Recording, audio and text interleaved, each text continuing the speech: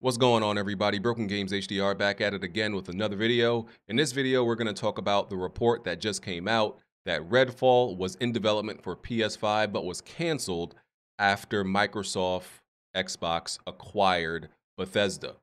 So, um, this week there was a Redfall event a Redfall media event where they invited the media out, bigger bigger channels, bigger outlets, some of the smaller channels to come and try out Redfall. And so far, there's been previews that have been released this morning, and the the impression of the game is pretty positive. People are pretty optimistic about it. The game is looking good, right? So first of all, let me say right off the bat, Xbox has done nothing wrong with making Redfall an exclusive game to, to Xbox. There's there's nothing wrong with that. The only thing wrong with this situation, and is and I'm gonna point point it out, is Phil Spencer talks too damn much. He talks so much, you kind of forget what what the last thing he said was. You kind of forget what his stance is on certain topics because he interviews too damn much. You know, he, he talks to too many damn outlets. He talks too damn much. Sometimes his his the things he says contradicts and and clashes with one another. Because I've said this before about Phil Spencer. Love the guy. Great guy. Love him to death. But he's a silver-tongued devil, right? And he plays he sometimes plays word games and mostly the problem is is there's Phil Spencer the man and there's Phil Spencer the executive. And Phil Spencer the man speaks when Phil Spencer the executive, the head of Xbox, should be talking all the time. Phil Spencer talks about how he feels personally about things. And that can be taken as how you're going to move as the businessman.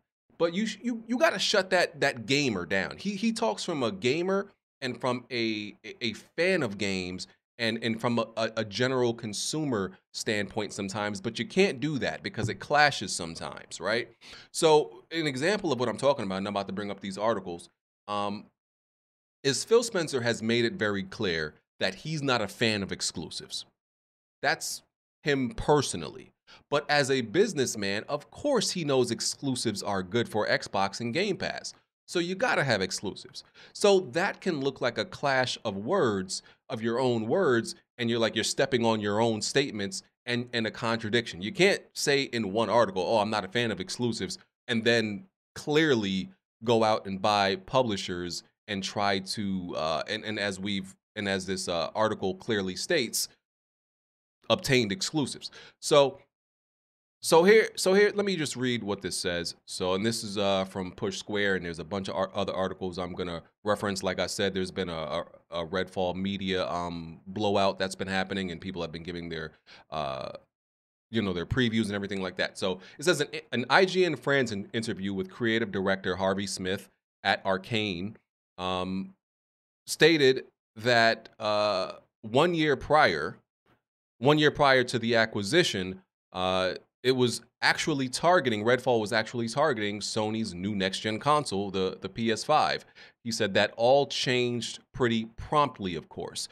We got bought out by Microsoft and it was changed with a capital C. They came in and said, no PS5, we're focusing on Xbox, PC, and Game Pass. Once again, nothing wrong with that, as they should. Smith added that he believes it's not a big deal and it's actually a good decision.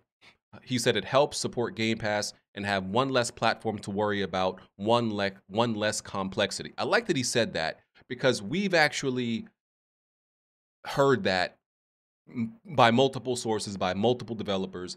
It's easier to optimize and easier to make a game when you're making it for less platforms. That's not debatable. Everybody has said it. PlayStation has said, you know, it's, it's the case with Final Fantasy. Um, it's it's it's going to be the case with Redfall. Mo- third parties have said it, so it's not something you can argue at this point, right? So both parties, whether it's PlayStation, Xbox, whoever is doing it, making uh, games for less platforms, they benefit from it, and there's nothing there's nothing wrong with it, right? So I'm I'm glad I'm glad he said that. So nothing nothing wrong with this. The people who are mad, nobody should be mad at Xbox for making Redfall an, an exclusive. But what many people are going to point out are what Phil Spencer has said in previous previous interviews. Now, I'm going to cover Phil Spencer because one of the things he has said um, is that Microsoft is deciding uh, on a case by case basis uh, about the future of Bethesda games on PS5, Switch, or wherever they, they are going to go. He has made that very clear. It will be a case by case basis.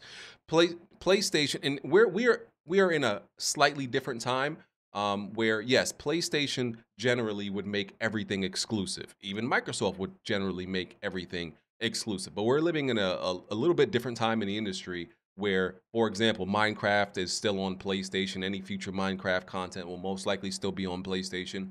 Um, even though uh, Sony acquired Bungie, they're not under the PlayStation umbrella. They're under Sony um, because that was the deal that Bungie Bungie wanted. They're still going to be releasing future uh, Destiny content and and even their game after that, uh, reportedly at least, on multiple platforms, including Xbox. So we're still living we're living in a different time where uh, when you buy a publisher or a developer, they may still release content on other platforms. It's you know, but it it it really depends. But so this this you know lines up with Redfall being on uh, exclusive to Xbox and like you know on on PC, I guess, even though you know multiple platforms is not necessarily necessarily an exclusive, but it's not on PS5. That's the point. So this coincides and lines up perfectly. the The issue comes in is when Phil, when you look at Phil Spencer's, and you know, I did a little bit of journalistic research because it's like Phil Spencer has talked so much, I forgot what he's actually said. He's done so many interviews. I'm like, yo, what has this man actually said? And the answer is he's said too damn much. He talks too much. And I like and I like Phil. Great guy, love him to death, but he talks too much. You don't got to talk this much, bro. So when you look at this, right? This this article and these articles range over a bunch of years. Um, he said success doesn't mean pulling Sony down. And in this article, he he goes on to say, uh, "I'm always listening to the community, but people who want to see others fail in order for the green team, meaning Xbox, to succeed." He said, "That's not me." Once again, I told you sometimes he speaks from Phil Spencer, the man. He got to stop doing that. He said he said that's not me, but that doesn't mean that's not Xbox or Microsoft or Phil Spencer, the executive, even. That's personally what he does not like he is personally against exclusives. Um, he goes on to say, you know, he's worked with Sony and everything like that. Sony has shipped PCs and they had Windows on it. They've had development tools to build. They've used their development tools to build games and all that stuff. Uh, he mentions Minecraft and all that stuff. It's still on PlayStation. Cool. So this is this one is a little bit vague and not that damning, um, but it kind of speaks to how Phil Spencer feels and thinks. Here's another article uh, where he spoke about. I think this was at a, a an award show, and he spoke spoke about how game companies must must, must turn away from dividing players and creators. You can make the argument that exclusives turn away excuse, excuse excuse me exclusives divide players and creators. Once again, not something I have an issue with. Love exclusives. I'm sorry, exclusives are business. There's nothing wrong with them. But when you speak out against this stuff is when it start when you start to look fishy and you start to look spooky and step on your own statements. Phil Spencer believes we'll see less and less exclusives over time. I think he was actually right about this, but it kind of once again just lends to how he feels about exclusives. He wants to see less of less and less of, of them over time because it feels like it divides players. This one is very straightforward to how he sees exclusives exclusives are completely counter to what gaming is about. You can't make it no pl- more plain and simple than than what he, than how he says it right there. This one was in 2020. This was like three years ago. This one was 2022. Uh, this one was uh, this one was just the beginning of this year. Um, this one was 2019. Phil, stop doing so many interviews and stop speaking on the same thing so many times because it starts to, you know, you start to, you know, really step on your own words. And this one, Phil Spencer reiterates he does not like console exclusive content. That that's more to like uh, content in in third party games. I think he's speaking more specifically about that. And he didn't. This was an interview with the Brazil Game Show. Yeah, he was speaking more about DLC DLC here. Once again, all these articles just point to how he feels and how and, and his dislike of exclusives. This does cover him. Like I said, because a lot of people on Twitter will uh, just cherry pick all those other statements Phil Spencer has said and be like, "Oh, look, Phil Phil is a liar. Oh, Phil is a contra, you know, he's a he's a hypocrite and all this stuff." He the man has covered himself. But there's no denying the man steps on his own words and talks talks too damn much. Phil, brother, stop talking. stop talking. Because if you just stop talking, then people have nothing to leverage against you. People can't say, "Oh, you're contradicting yourself or contradicting, you know, Xbox or or whatever." Because some of these stances are not necessarily Xbox stances, they're Phil stances. But you being the head of Xbox Worldwide Studios, that kind of gets put together. That's the thing. Stop speaking from Phil the man and and only speak from Phil the executive. That's what you that's what you need to do, and then there will be no problem. Um, once again, Xbox did nothing wrong here except for Phil Spencer flapping his flapping his gums unnecessarily and seemingly sometimes forgetting what he said last time. Um, so yeah, that's that's that's my take on this. There's nothing wrong with this. There's no issue here. PlayStation, you know, would want to make everything exclusive um, that they possibly can to the to the PlayStation platform. The only thing is Jim Ryan ain't denying that. Jim Ryan is not gonna come out. You've I don't think you've ever seen Jim Ryan come out and said and and say and he won't ever say, "Oh, I'm against ex- exclusives. Exclusives are, are are counter to what gaming is about oh, we don't like to do that. No. Jim Ryan will never say such a thing. He loves in it. He bathes in it. He showers in it. That's what he's all about. He's all about taking content from others and putting it on PlayStation exclusively if he can for players. That's what he's all, all about. He doesn't and he he may have personal feelings that go against what he feels as a businessman, but you won't ever hear him speak about it. And it's not like Jim Jim Ryan has never uh, lied or contradicted himself. He absolutely has. But it's but it's not but it's never his like personal feelings versus uh versus his his his business um side or executive side that's talking. It's usually his business side saying we'll do one thing and and then eh, we're not really gonna do that. We kind of lied. So both lie. But speaking about Phil Spencer, right, uh, specifically at this moment, brother, you just got to stop talking. That's all. Less quotes, less interviews. We we it's not needed. Not needed. Like I said, great guy. Love him to death. Um and some people may use this, you know, as fodder for that whole ABK deal that's going on. I don't I don't care about that, right?